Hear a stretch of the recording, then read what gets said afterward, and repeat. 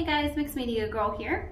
So today I am going to do a piece on this 16 inch round Convexo canvas. That's just the name of it. The brand is Fredrix. Um, you can get it on Amazon, you can get it at uh, Jerry's Artorama. The fantastic thing about this is it has these rounded sides. So your work's not gonna just stop at the edge there. And I'm really excited. I found out about these from um, Manon Petit Art. so I'll put a link to her channel down in the description, check her out. And then I'm gonna be using a one of my uh, 16 ounce triple split cups. So it's got four compartments and of course, mixed media girl pouring paint. I'm gonna use kind of a strange combination today of pinks and yellow. It just spoke to me for some reason. So I'm gonna do some lighter colors in this side with white and this is um, the pearl pink, which is a nice, really light pink. I don't need to fill up this entire cup. I'll probably need maybe about 14 ounces. I'll fill it up most of the way. And then I'm gonna use some gold over here as well. Um, then I'm going to use some hot pink. This is the electric pink. Fill that up to about where the white is. And then we're gonna use some Razzle Dazzle. This is like a deep magenta. And then the final color in here, we'll do some Deep Sea, which is a really dark blue, like a really dark navy blue. And I'll go ahead and start the next compartment off with the Deep Sea as well. I'm gonna use a couple more metallics. So I'm gonna have a few metallics in here.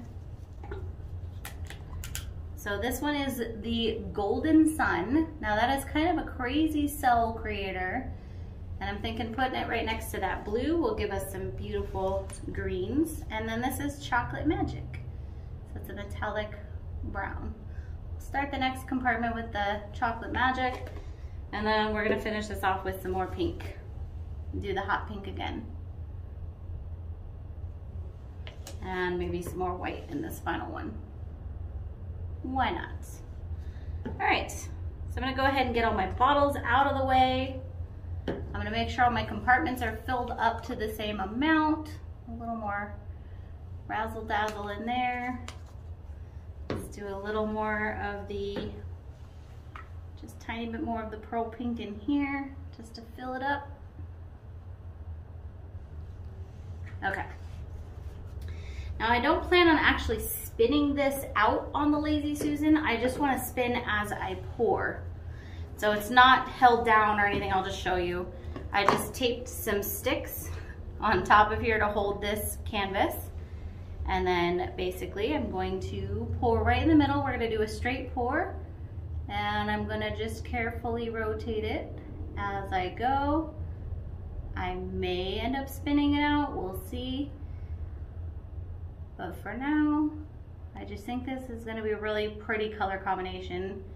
And I'm thinking we might also get some really fun cells with that golden sun. It is such a beautiful color. And I don't know why it kind of struck me today to do pink and yellow, but that just seemed like a good idea.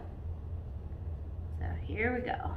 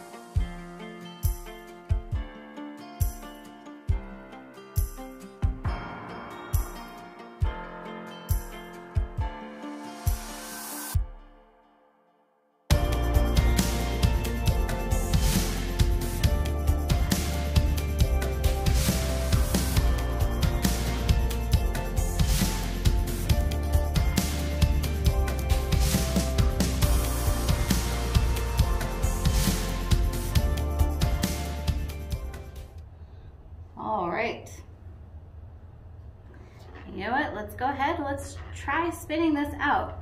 I might tilt it a bit first, um, just to kind of even it out. And then then maybe we'll spin it at the end there. Definitely happy with these colors. overall pretty bright. We've got the couple little bit darker colors in there, the Deep Sea and the Chocolate Magic.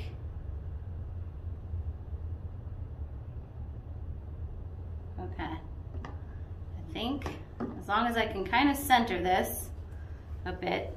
This canvas is heavy enough that as long as I don't swing it too hard, I think we should be fine to spin it without any tape or anything. So let's try this out. If it seems to be too off center, I might have to tilt some more.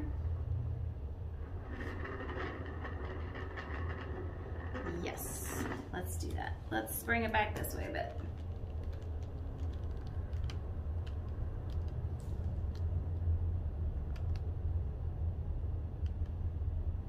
Okay, and we'll spin it just a little more.